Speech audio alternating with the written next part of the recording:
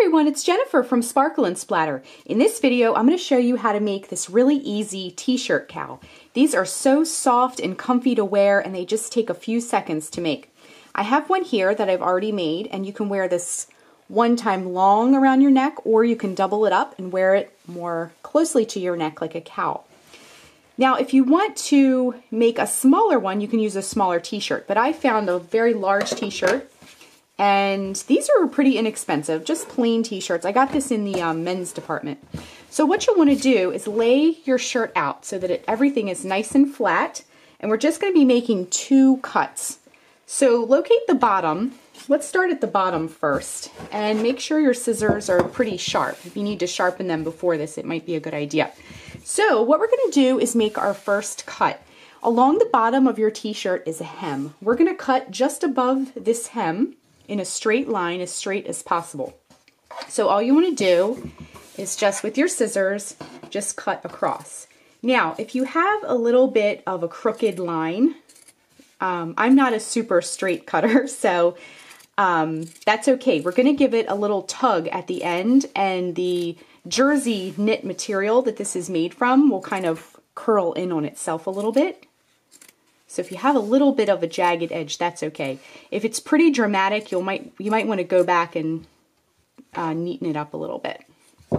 Okay, so let me just straighten this out. There we go, got a little bit folded in on itself. Okay, so we're just going to cut that bottom hem right off. Now let's make our second cut. So we're halfway through already. Okay, so we're going to just begin cutting in a straight line all the way across the shirt until we get to the other side where the other arm is. Now again, if your lines are a little bit jagged, that's okay because the jersey fabric is going to roll in on itself a little bit, especially when you wash your cowl. It will do that even more and it'll soften up the fabric. Okay, so you can save this if you need some extra fabric scraps. And then the cowl is complete. Now it looks really big right now, but when we open it up, it's going to make a nice generous cowl. And when you give it a little tug, see this is where we cut the fabric. If you give it a little tug, see how it kind of rolls in? You can probably see that a little bit better with the purple one. See how it just kind of rolls down and you don't even see the edges. So that's it. Our cowl took two cuts to make across the t-shirt and our project is complete. These make great gifts. They're super fast and they're very comfy to wear. So that is how you make an easy t-shirt cowl.